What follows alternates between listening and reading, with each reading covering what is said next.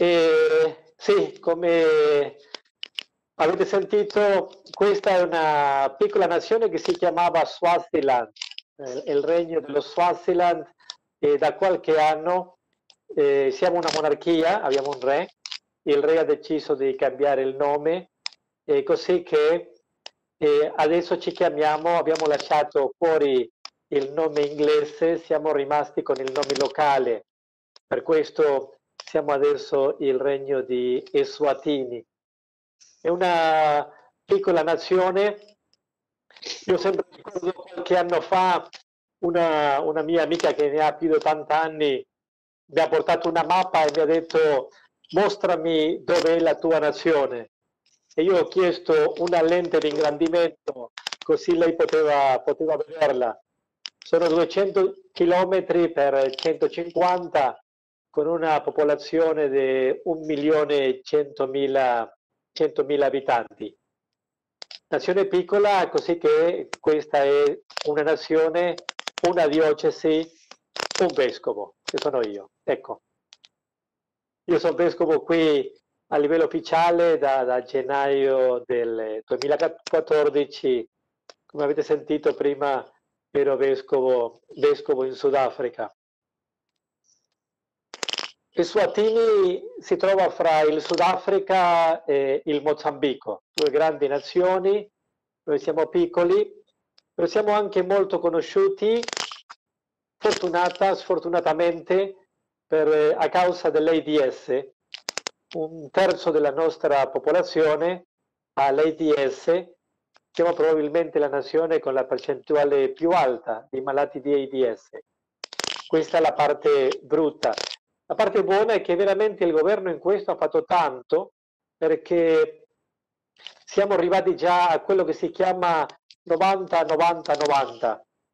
90% dei malati di AIDS sono consapevoli di avere la malattia.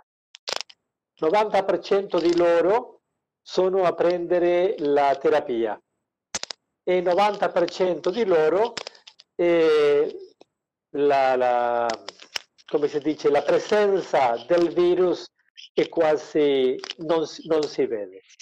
Così che questa è una cosa molto importante, penso lo sia anche in questo momento che anche noi abbiamo questo benedetto virus eh, in giro, anche noi siamo in quarantena in questo momento. Un 70% della nostra popolazione non abita in città, è popolazione rurale. E per questo anche il motivo di questo progetto. La nazione si trova divisa in quattro regioni, una di queste regioni si chiama Lubombo ed è la zona più povera di Eswatini. E una delle grandi sofferenze è la mancanza di acqua. Le nostre piogge arrivano nel mese di ottobre fino al mese di marzo-aprile e sono diversi anni che, che non piove veramente in questa zona.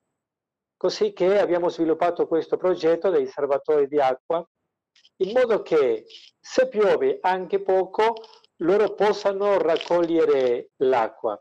Poi c'è anche la possibilità, c'è chi vende l'acqua e questo permetterebbe lo, loro di, di comprare l'acqua e di averla in modo di poter anche lavorare, lavorare sul, sull'orto.